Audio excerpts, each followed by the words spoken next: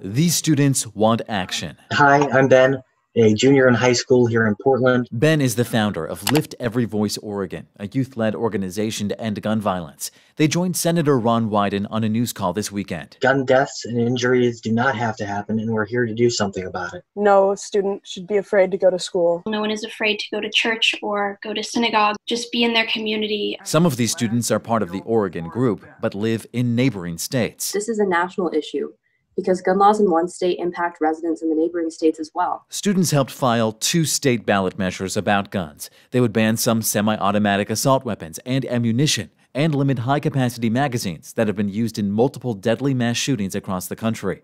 Buyers would also have to have a permit, completed background checks, and training to get a gun. These young Oregonians deserve a new and safer normal. Senator Wyden is working on gun reform at the national level too, and says even though these students can't vote yet, they will eventually. They're watching their elected officials and they're going to hold them accountable. Oregon students have heard this before. A former Hood River Valley High School student even testified to U.S. lawmakers in 2018. We won't stop marching. We will keep fighting weapons and those who protect them over us. So, what's different now? For one, locally, Portland gun violence is at record highs. The FBI is even stepping in to help build cases against people behind it.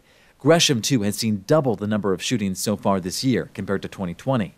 And with students headed back to class, the concern of more school shootings is there too. So now, Senator Wyden says national bills for stricter background checks are closer to passing than ever before. Only a few votes away.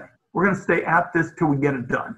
It's not a violation of the Second Amendment. Lift Every Voice Oregon is collecting signatures for its state measures and says everyone has a role to play to end gun violence. And I think as youth um, inheriting this world, it's important that our voices are heard in this matter.